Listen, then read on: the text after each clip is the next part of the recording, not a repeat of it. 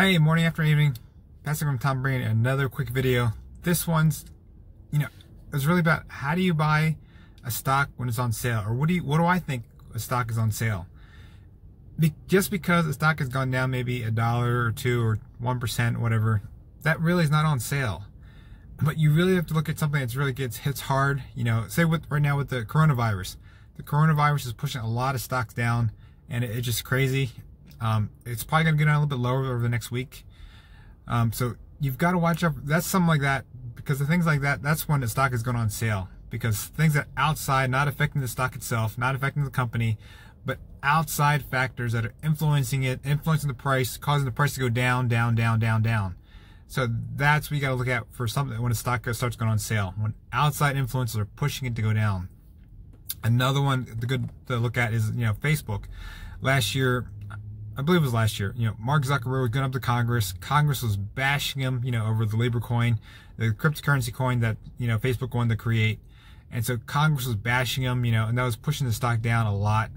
Um, that's another time, you, you, know, when outside influences were pushing down a, a stock or a company, an industry, you know, you have, that's things, things you got to look at. You know, look at for those little indicators. You know, you don't, you always see it in the news and everything, but you don't really think, how does, you know, what's happening over here may affect that stock?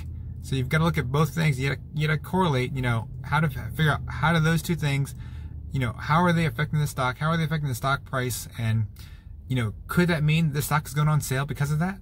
Because if you look right after that, right after Facebook was bashed by uh, Congress, you know, Facebook stocks start going up higher and higher and higher right after that. So that's what you got to look for. You got to look up for key little indicators like that because things like that will cause the stock price to drop. All right. And just just so you know, I bought some. I bought a stock, a couple shares of stock last Friday. Uh, I bought BP. You know, BP. You know, oil and gas company. It's doing very well, but because everything going on with the coronavirus, it's pushing the stock down lower. You know, it's hurting the industry, hurting the industry, hurting the airline industry as well, uh, hurting the oil and gas industry. You know, but some things, if you look at it, some stock prices are going a lot lower than what they should be.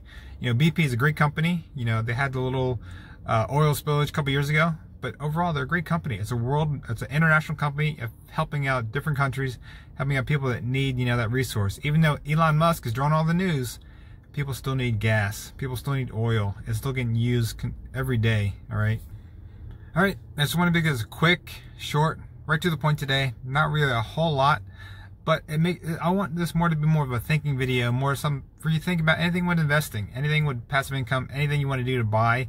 You really have to do a lot of thinking. You can't just go out and say, "Hey, I want to do this today." You know, you've got to put a lot of thought in it. You got to use, you know, use what God gave you. You know, your little brain up here, and you really think about some things because too many things today we don't think about it. We just go and do it.